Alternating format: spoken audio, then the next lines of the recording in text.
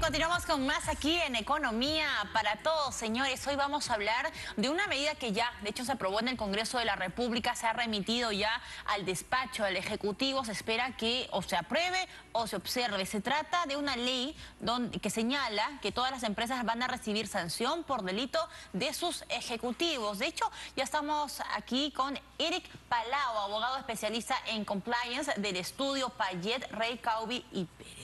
¿Cómo estás, Eric? Bienvenido. Valeria, buenas tardes, gracias por la invitación, encantado de poder participar el día de hoy aquí. A ver, vamos a tratar de explicar esto de manera más sencilla. De repente alguien en casa va a decir, por fin las empresas van a recibir sanciones por las malas prácticas del Ejecutivo. Otros dirán, ¿por qué tendrían que asumir, digamos, estas responsabilidades o los delitos las empresas? Eh, quiero, digamos, una explicación bastante didáctica, ¿no? ¿Qué pasaba antes de este proyecto de ley que se aprobó en el Congreso y qué, qué es lo nuevo que plantea esta iniciativa? Sí, te comento, son principalmente tres grandes cambios que plantea esta ley aprobada por el Congreso. En primer lugar, la actual ley 3424, que es la ley que regula la responsabilidad administrativa para las personas jurídicas, que en realidad es una responsabilidad penal hacia las empresas, prevé hoy en día una sanción para las empresas por siete delitos, ¿no? Por delitos de corrupción, básicamente a funcionarios públicos, como es la colusión, eh, delitos de soborno, tráfico de influencia, lavado de activos y financiamiento del terrorismo. Y ahora con esta ley que fue eh, aprobada por el Congreso, como comentaste, a propuesta de un proyecto de ley del Poder Ejecutivo, se está ampliando la responsabilidad penal de las personas jurídicas por 30 nuevos delitos. ¿no? ¿Serían 37? Serían en total ahora 37 delitos, ¿no? por los cuales podría responder las empresas. Entonces, si eh, se cometiera algunos de estos delitos en beneficio de la persona jurídica, vale decir, en beneficio de la empresa, esto implicaría que la empresa tenga que asumir responsabilidad penal, por lo cual se le podría poner sanciones de multa, inhabilitaciones, por ejemplo, para contratar con el Estado, incluso les pueden eh, clausurar sus locales o disolver ah. ¿no? la persona jurídica. ¿no? Pero ¿qué planteaba la, ley 3424 que aún está vigente, que todavía no ha sido eh, promulgada por el Poder Ejecutivo, pero probablemente en los próximos días esto sea así? Eh, la actual ley le daba un beneficio a las empresas. Si las empresas tenían implementado un programa de compliance, la ley lo llama modelo de prevención, ¿no? Antes de que se cometiera el delito, la ley le permitía a la empresa quedar exenta de responsabilidad penal si es que ese programa de compliance estaba debidamente implementado y funcionaba adecuadamente, ¿no? La, persona jurídica, claro, la persona jurídica quedaba exenta de responsabilidad. o sea, ahora con esta modificatoria se mantiene ese eximente pero plantea un supuesto distinto, que es lo que tú comentaste.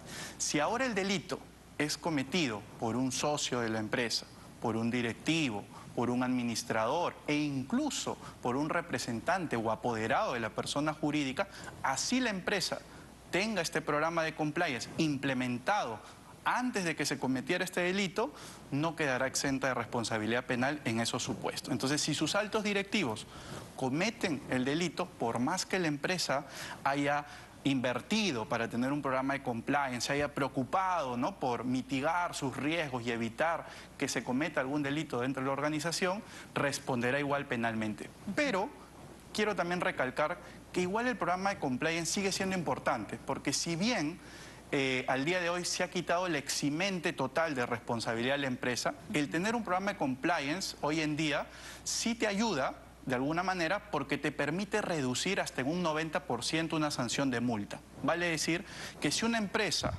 que comete un delito, ¿no? No tiene un programa de compliance, pongamos un ejemplo, le pondrían 100 mil soles de sanción de multa. Pero si tiene un compliance, antes quedaba exenta, ¿no? Si lo tenía debidamente implementado. Pero ahora ya no le pondrían 100 mil, sino le podrían poner 10 mil. De todas maneras, sigue siendo un beneficio el programa de compliance, pero no como es actualmente en el cual, si tú lo tenías debidamente implementado, la empresa quedaba exenta de responsabilidad penal. A ver, esos son eh, aproximadamente 30 tipos de delitos que se, que se agregan, digamos. Eh, lo curioso es que, claro, por, una, por un delito cometido por el Ejecutivo, puede una empresa ser cerrada, puede ser, claro, ¿no? Podría llegar hasta la disolución, ¿no? Dependiendo eh, qué tipo de delito sea y la forma que se haya cometido, ¿no? Eh, el delito. ¿Y qué tipo de delitos se han incluido en estas 30? En estos 30 delitos están el delito de contabilidad paralela, que es básicamente que la empresa tenga una contabilidad distinta a la exigida por ley, ¿no? Luego están, han agregado delitos contra bienes culturales, como por ejemplo este, afectaciones a monumentos arqueológicos, ¿no? Han agregado también la extracción eh, de bienes culturales y además han agregado ocho delitos eh, tributarios de la ley penal tributaria, ocho eh, nueve delitos también aduaneros y ocho delitos de terrorismo se le está dando, digamos, más dientes, más garras, ¿no? A, la ley un poco para poder cuidar o prevenir, digamos, estos delitos que pueden salir, a ver, del Ejecutivo, pero también llegar a, la disolución de las empresas. ¿Desde cuándo se podría aplicar, si es que esto se aprueba ya por el Ejecutivo? Si se aprueba, eh, en, en la ley que ha sido aprobada por el Congreso, se establece que eh, la responsabilidad de las empresas por estos nuevos delitos recién entrará en vigencia seis meses después de, de promulgada esta ley. Vale decir, desde la fecha que lo promulgaría el Ejecutivo, habría que contabilizar seis meses más que le da la ley para que las empresas de alguna manera se puedan organizar y puedan prevenir adecuadamente los riesgos que estén asociados a estos nuevos 30 delitos, ¿no? por los cuales pueden ser sancionados. Ahí está, vamos entonces a esperar, Eric, las novedades del Ejecutivo, a ver si esto se aprueba. Me dices que todavía hay una hay un matiz de que probablemente se, se ratifique esta decisión dentro del Ejecutivo. Sí, claro, el Ejecutivo tiene la facultad en estos 15 días hábiles que prevé la ley que pueda observar o promulgar la ley pero creo, eh, desde mi perspectiva, que el Ejecutivo la va a promulgar porque en esencia se ha recogido la, mayor parte de, los, de lo que regula el proyecto de ley, ¿no? del planteamiento que hizo el Poder Ejecutivo. Esto se da en el contexto de, de OCTE.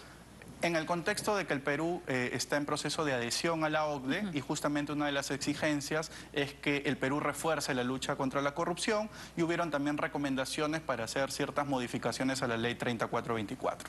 Muchísimas gracias. Eric Palau estuvo con nosotros, abogado, especialista en compliance del estudio Payet Rey Caubi Pérez.